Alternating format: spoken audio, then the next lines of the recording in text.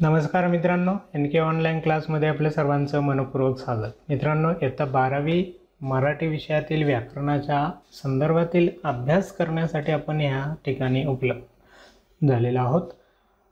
मित्रांनो आज आपण इकडे समास जो अभ्यास करणार आहोत त्या समासांमधील द्वंद्व समाज हा जो समासाचा तिसरा प्रकार आपल्या बारावीच्या सिलेबसमध्ये दिलेला आहे त्या सलाबसमध्ये असलेल्या घटकाच्या संदर्भातली माहिती अभ्यासत आहोत समासांचे इतरही प्रकार आहेत परंतु आपल्याला बारावीला जे दिलेले असतील त्यांच्या संदर्भातला अभ्यास आणि पुस्तकामध्ये त्यावरती आधारित जर काही कृती प्रश्न दिले असतील तर त्यांची माहिती विद्यार्थ्यांना होण्यासाठी आपण ह्या घटकांची माहिती अभ्यासत आहोत. एका बाजूला तुम्हाला समाज देखील समजतील आणि दुसऱ्या बाजूला त्यावरती आधारित असलेल्या कृती आहेत. त्या कृती देखील समजाव्यात. या हेतूने आपण हे व्हिडिओ बनवत आहोत. चला तर मग आपण सर्वजण या ठिकाणी उपल उपस्थित झालेलाच आहात. तर आपण थोडंसं पुन्हा एकदा डोक्याला ताप करूयात. कारण डोक्याला ताप केल्याशिवाय कुठलाही विषय आपल्याला समजणार नाही. This is not a entertainment हे की एंटरटेनमेंट नाही आहे हा आहे थोडासा डोक्याला त्रास करणारा भाग. परंतु आपल्यासाठी इम्पॉर्टंट महत्त्वाचा कारण या घटकावरती आधारित प्रश्न परीक्षेला येतात आणि हे प्रश्न आपण सोडवले तर आपल्याला गुण देखील चांगले मिळू शकतात. म्हणूनच आपल्याला यांचा अभ्यास करणं गरजेचं असतं. आता ही काही सांगण्यासारखी गोष्ट नाहीत. आपण स- सर्वजण ज्ञात आहात आणि हा व्हिडिओ पाहत असाल तर नक्कीच आपल्याला ही शिकण्याची इच्छा असेल. म्हणून व्हिडिओ पाहत आहेत तर चला सुरू करूयात. द्वंद्व समाज समासांचा तिसरा प्रकार. आता मित्रांनो समास आपण अभ्यासलेला आहे. समास म्हणजे दोन शब्द एकत्र येऊन शब्द तयार होण्याला समास म्हणतात. नारायण सुरू यांची एक कविता आहे. सॉरी नारायण पुरी यांची एक कविता आहे. आणि खूप छान प्रकारे ती कविता त्यांनी सादर केलेली आहे. नेटवरती देखील तुम्हाला मिळेल. ज प्रेमाचा जांगड जांगडगुत्ता. त्या कवितेत जसा प्रेमाचा झांगडगुत्ता होता तसा इथं दोन शब्दांचा झांगडगुत्ता म्हणजे दोन शब्द एकत्र येऊन एक वेगळा शब्द तयार होतोय आणि त्या शब्दाच्या संदर्भातला अभ्यास व्याकरणात आलेला आहे. तो अभ्यास आपण या ठिकाणी करत आहोत. आता हा जो झांगडगुत्ता आहे तो आपण वेगवेगळ्या प्रकारचा असल्याने वेगवेगळ्या प्रकारांमध्ये अभ्यासणं गरजेचं आहे. आज जो झांगडगुत्ता पाहायचा आहे तो आहे द्वंद्व समास स्वरूपातला. काय आहेत? द्वंद्व स स म- समासाच्या स्वरूपातला हा होता. तर त्याचा व्याख्या किंवा अर्थ पहा सुरुवातीला. ज्या सामासिक ज्या समासाची दोन्ही पदे अर्थदृष्ट्या प्रधान म्हणजेच समान दर्जाची असतात त्यांना द्वंद्व समास असे म्हणतात. त्याच्यात जे दोन पदं येतात दोन शब्द येतात हे शब्द एकत्र येऊन शब्द बनतो आहे तर हे बनत असताना जे दोन्ही प शब्द आहेत दोन पदं आहेत ते ते दोन्ही पदं समान महत्त्वाची एक खूप जास्त महत्त्वाचं आणि दुसरं कमी महत्त्वाचं असं ह्या ठिकाणी नाही. द्वंद्व दोन्हीही महत्त्वाचे आहेत. दोघांमध्ये द्वंद्व आहे युद्ध आहे. कारण महत्त्वाचं प्रत्येकाला वाटतं ना मी श्रेष्ठ मी श्रेष्ठ. तसं या दोघांमध्ये या ठिकाणी श्रेष्ठत्वाची स्पर्धा समान असते. द्वंद्व होतं या दोघांमध्ये म्हणून द्वंद्व समान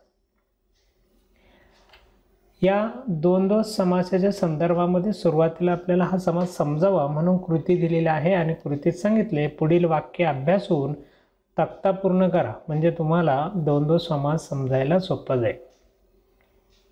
तर वाक्य दिलेत वाक्य देखील आपल्याला पाहावी लागतील. त्या वाक्यातले शब्द विचारात घ्यावा लागेल सामासिक शब्द आणि मग त्याचा विग्रही विचारात घ्यावा लागेल. तक्त्यात काय दिले त्या पद्धतीनं आपण तर विचार करणारच आहोत. आधीच तुम्हाला वाक्यामध्ये तो शब्द शोधावं लागेल.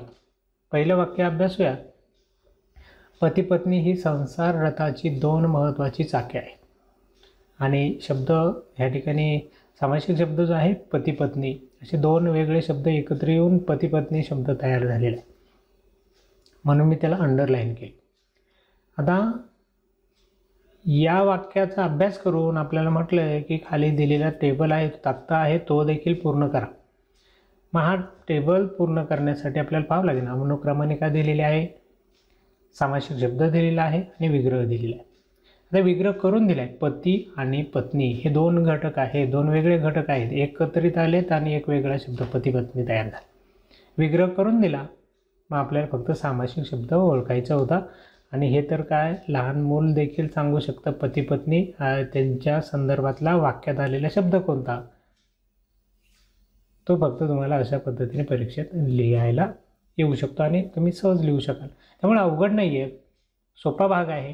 फक्त थोडासा त्याचा अभ्यास केला तर नक्की आणखी आपले चांगले मार्क स्कोरिंग होऊ शकतं मराठी विषयामध्ये आणि त्याचा फायदा. इतर विषयांजरमध्ये कमी मार्क पडले तर त्याचं जे भरपाई आहे ती आपण मराठी विषयातून करू शकतो. यानंतर दुसरं वाक्य आहे. दुसऱ्या वाक्याचा अभ्यास करूया. दुसरं वाक्य आहे योग्य पुरावा उपलब्ध झाला की खरे खोटे कळतेच. आणि सामासिक शब्द दिला होता खरे खोटे. म्हणून आपण डायरेक्टच खरे खोटे शब्दाला अंडरलाईन केली तरी चालेल. सामासिक शब्द आपल्याला या ठिकाणी मिळाला. खरे खोटे या ठिकाणी खरे हा एक शब्द आहे खोटे हा दुसरा शब्द आहे. वेगळे शब्द आहेत पण एकत्र आले. आणि एक वेगळा खरे खोटे शब्द तयार झाला आहे ह्या खरे खोट्यांचा जांगड गुत्ता होऊन खरे खोटे शब्द होते. आता हा जो शब्द आहे त्याचा विग्रह केला तर खरे आणि खोटे किंवा खरे किंवा खोटे असे दोन वेगळे शब्द मिळतील. विग्रह झाला आपला टेबलही पूर्ण होत चालला आहे वाक्यही अभ्यासच चाललं आहे तिसरा आहे स्नेह मेळाव्यात मैत्रमैत्रिणींच्या गप्पा गोष्टी रंगात आल्या. आणि विग्रहामध्ये दिलं होतं गप्पा गोष्टी वगैरे.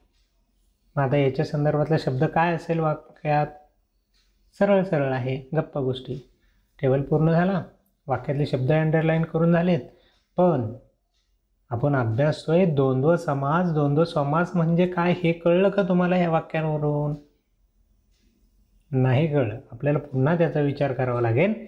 द्वंद्व समास सांगतो की सामासिक शब्दामध्ये आलेली दोन जे पदं असतात ते दोन्हीही सारखीच असतात प्रधान असतात दोनगांनाही सारखंच महत्त्व असतं. पती पत्नी शब्द तयार होत असताना पती आणि पत्नी यापैकी एखादा शब्द काढला तर पती असं म्हटलं तर त्याचा अर्थ राहणार नाही. त्याचा अर्थ होणार नाही. जेवढं पतीला महत्त्व तेवढंच पत्नीला महत्त्व दोघंही महत्त्वाचे आहेत. पती पत्नी शब्द तयार होता. म्हणून दोन्ही पदं महत्त्वाचं असलेला समास म्हणजे द्वंद्व समास खरे खोटे खरे आणि खोटे असे दोन शब्द आहेत पण दोन्हीही शब्द महत्त्वाचे आहेत या ठिकाणी. योग्य पुरावा मिळाला की खरं आहे की खोटं आहे दोघांपैकी काहीतरी एक आहे पण दोघांनाही त्यामुळे महत्त्व आलेले. दोन्ही शब्द महत्त्वाचे गप्पा गोष्टी गप्पा आहेत आणि दुसऱ्या बाजूला गोष्टी आहेत. काहीतरी दोघांपैकी एक चाललेलं असणार आहे गप्पा चाललेला असणार किंवा गोष्टी सांगत असतात. काहीतरी एक त्या ठिकाणी मैत्रमैत्रिणींमध्ये रंगात आलेलं असू शकतं. म्हणून फक्त गप्पाच आहेत असं नाही सांगू शकत फक्त गोष्टीच आहेत असं नाही सांगू शकत. गप्पा किंवा गोष्टी दोघांपैकी काहीतरी एक असेल दोघांनाही महत्त्व आहे. मग अशी दोन्हीही शब्द महत्त्वाचे असलेल्या शब्दांनाच द्वंद्व समास म्हणायचं. असे तर अनेक शब्द तयार होतात एकत्र येऊन पण सगळेच द्वंद्व समाज नाही. त्यांच्यामध्ये अशी दोन्ही पदं महत्त्वाची असेल तेवढेच शब्द फक्त द्वंद्व समासाचे. आले लक्षात? अशा प्रकारचा हा समास आहे सोपा समास आहे. या समासाच्या संदर्भात आपल्याला आणखी एक महत्त्वाचा भाग अभ्यासायचा तो म्हणजे द्वंद्व समासाचे प्रकार देखील आहे. ह्या प्रकारांचाही अभ्यास करायचा आहे. मग द्वंद्व समासाचे प्रकार कोणते? हे देखील आपल्याला पाहावं लागेल. द्वंद्व समासाचे तीन प्रकार आहेत. आणि ह्या तीनही प्रकारांचा आपण अभ्यास करणारच आहोत. पहिला आहे इतरेतर द्वंद्व समास. दुसरा आहे वैकल्पिक द्वंद्व समास. आणि तिसरा आहे समहार द्वंद्व समास. आता मित्रांनो आपण दोन दोन समास अभ्यासतोय. दोन दोन समासाच्या पुन्हा तीन प्रकारांचा अभ्यास करायचा आहे. तर हे जे प्रकार आहेत ते देखील आपण एकाच वेळी अभ्यासायचे नाही. आपण डिटेलमध्ये यांचा पण सेपरेट सेपरेट एक एक व्हिडिओ करूयात आणि एका एका प्रकाराचा एक स्वतंत्र अभ्यास करूया म्हणजे कुठलाही प्रकारची शंका आपल्यामध्ये मनामध्ये राहणार. आणि तुम्हाला वाटतच असेल तर आपण नंतर एक सेपरेट समासाचा सगळ्या समासांचा जो बारावीचा आहे त्यांचा एक सेपरेट व्हिडिओ वीस पंचवीस मिनटामध्ये होईल अशा पद्धतीचं आपण करूयात म्हणजे ज्या विद्यार्थ्यांना सेपरेट डिटेलमध्ये अभ्यास करायचे त्यांनी हे व्हिडिओ अभ्यासावेत आणि ज्यांना संपूर्ण समाज एकाच वेळी फक्त सराव म्हणून अभ्यासायचे त्यावेळेस एक व्हिडिओ वेगळा अभ्यासला तरी चालेल. अशा पद्धतीचं आपण नियोजन करूया. चला तर मग आजचा व्हिडिओ या ठिकाणी थांबेल भेटूया आपल्या पुढच्या नवीन व्हिडिओमध्ये या जांगडगुत्त्या स्वरूपात तयार झालेल्या शब्दांच्या म्हणजे समासांच्या संदर्भातली माहिती घेऊन आणि आता पुढच्या व्हिडिओमध्ये आपल्याला माहिती आहे दोन दोन समासाच्या प्रकारांच्या अभ्यासाला आपण सुरुवात करणार. चला तर मग भेटूयात प्रकारांच्या सोबत. तोपर्यंत